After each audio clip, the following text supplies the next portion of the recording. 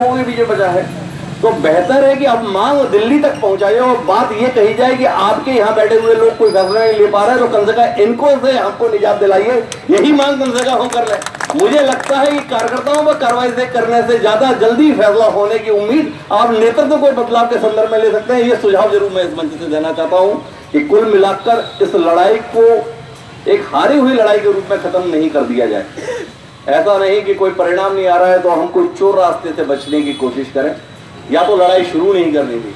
और अगर लड़ाई शुरू की है तो उसे अंजाम तक पहुँचना चाहिए। वो अंजाम जिसमें हमारे छोटे से छोटे आदमी को यह बोध हो कि उसका सम्मान सुरक्षित रहा। नेतृत्व के संदर्भ में ये दाग ना लगने पाए जी, इस बात को लिए सचेत रहने की तो हमें तो हर एक को सचेत रही है कोई ये ना समझे कि हम किसी बाहरी ताकतों के दबाव में आके सर झुका गए। लोगों को ये रखना चाहिए जब हम दूसरों के संदर्भ में इतने जो है, ईमानदारी के पाठ पढ़ाते हैं, जब दूसरों के संदर्भ में हम इतना आह्वान करते हैं, दूसरों को अपनी कलम के माध्यम से प्रेरित करने का संकल्प देते हैं कि सर कट जाना चाहिए, पर झुक नहीं जाना चाहिए तो फिर कम से कम अपना सर तो सलामत रख पाए, सम्मान के साथ इसके लिए हमें कोशिश आखिरी दम तक करनी चाहिए।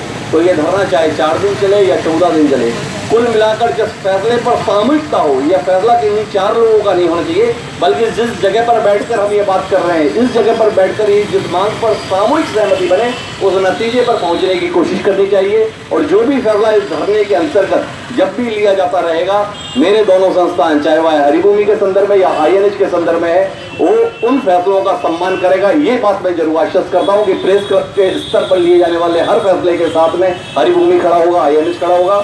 मेरा पूर्ण समर्थन आपकी इस लड़ाई के संदर्भ में, मैं स्वयं आपके साथ में हूँ। आप जिस क्षण कहेंगे, जहाँ कहेंगे, वहाँ आपके साथ पहले भी खड़ा रहूँ आगे भी खड़ा रहूँगा, क्योंकि ये बात किसी के सामान की नहीं, सम्मान की है। और सम्मान की लड़ाई तभी लड़ी जा सकती है जब सब सामूहिक रूप से अपने सम्मान का विषय समझें। ये महज सुमन पांडे के संदर्भ में नहीं, बल्कि हम सब में से किसी के साथ भी कभी भी घटित हो सकता है।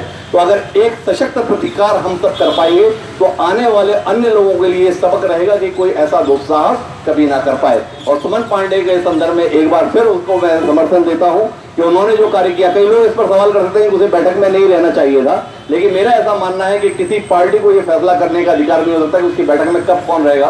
पत्रकार का तो दायित्व इस बात का है कि जहाँ पर कोई ना पहुँच सके। वहाँ पर वहाँ पहुँच जाए और समाज को वो चित्र स्थापित प्रकट करके दिखा सके कि वहाँ पर असल में हुआ क्या था।